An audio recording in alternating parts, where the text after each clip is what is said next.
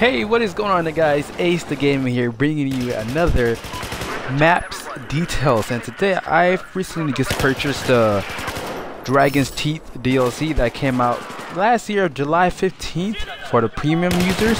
I'm currently not a premium Battlefield 4 user but I am a non-premium so it came out about you know July 29th of 2014 but recently I just bought it and the first map we're looking at here is Pearl Market. This is a pretty nice map here and this is the first time me playing on this map. I'm currently not playing any uh, Conquest game mode.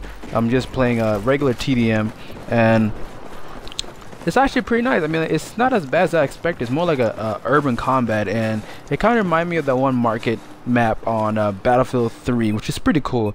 But more about the map. Okay, it is part of the War of the 2020, and its location is in Hong Kong, and the terrain, it is in urban terrain.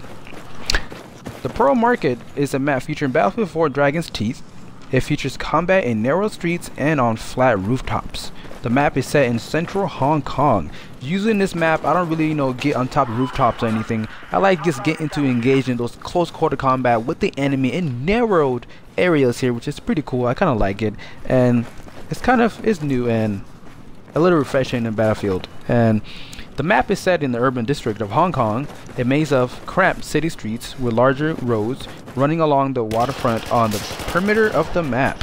The map has a heavy infantry focus, with only a few light vehicles and motorcycles available. Excuse me, motorbikes available from the deployment. In addition to AAV 7A1 AMTRAC available to each team, as well as fighting in the streets. Many of the buildings on the map providing access route to the roof, placing additional emphasis on vertical combat. Now, on over to the Conquest, there are five flags in the Conquest Large and three in Standard Conquest.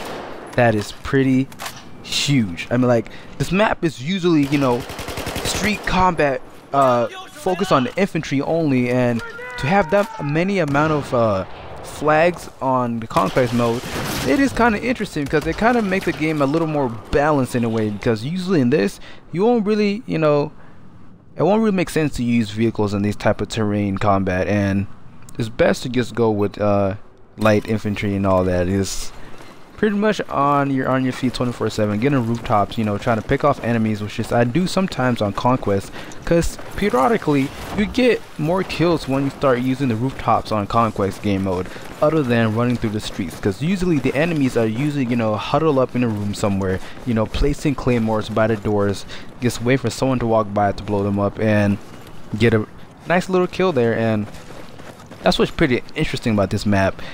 It's not you know versatile for light armored vehicles. It's not versatile for helicopters as well. And for helicopters, I don't think they have helicopters on Conquest game mode. I'm, I'm not really sure, but what I, am knowing that uh, for the U.S. Marines in uh, in this map, they get light vehicles. They get two dirt bikes and one Growler ITV in large Conquest mode.